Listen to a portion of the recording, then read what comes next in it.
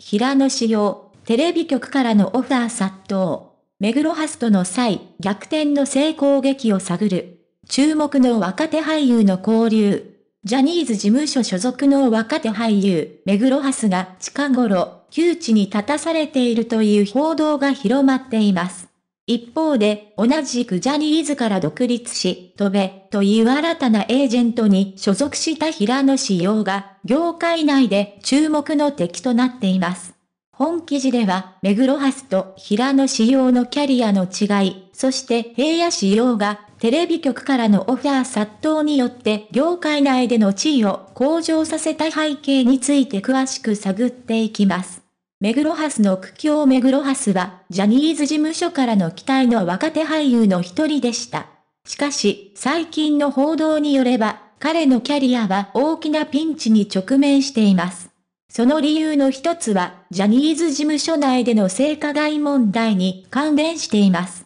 この問題が広まる中で、多くのジャニーズタレントが広告契約を失い、テレビ出演を見合わせるなどの苦境に立たされています。目黒ハスもその一員であり、ピークに達していた勢いが途切れたと言えます。さらに、目黒ハスが主演したドラマ、トリリオンゲーム、TBSK は大きな挫折となりました。このドラマは視聴率が低迷し、目黒ハスの演技にも批判が集まりました。彼にとっては民放プライム対初の連続ドラマ主演であったため、その大こけは特に痛手となりました。以前の評価も失われたと言えるでしょう。平野仕様の台頭一方、ジャニーズから独立し、新たなエージェントである、戸部に所属する平野仕様は、今、非常に注目されています。彼のキャリアが急浮上した背後には、複数の要因が影響しています。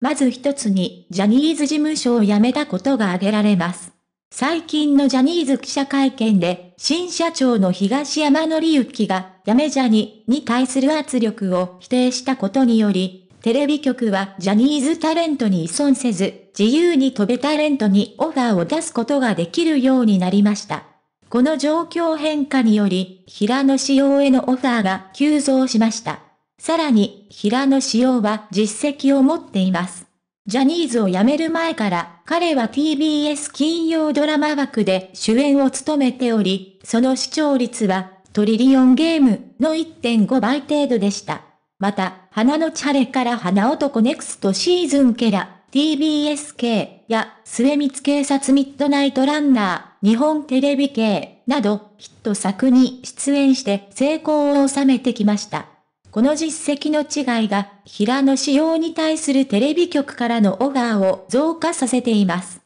平野仕様の逆転劇今まで業界内で一番候補と見られていたのは目黒ハスでしたが、急激に状況が変化し、平野仕様が注目を浴びる存在となりました。テレビ局は、平野仕様を獲得するために争っており、さらに皮肉なことに、目黒初主演のドラマ計画も平野仕様で進める方針に切り替えているとの情報もあります。業界内での二人の立ち位置は完全に逆転し、平野仕様が今、最も注目されている存在と言えるでしょう。結論ジャニーズ事務所を辞め、新たなエージェントに所属した平野仕様は、テレビ局からのオファーが殺到するなど、急速にキャリアを向上させています。一方で、かつて一強とされた目黒ハスはジャニーズ事務所内の問題やドラマの失敗により苦境に立たされています。この業界内での逆転劇は俳優たちの選択や実績、そして業界の状況の変化が影響しています。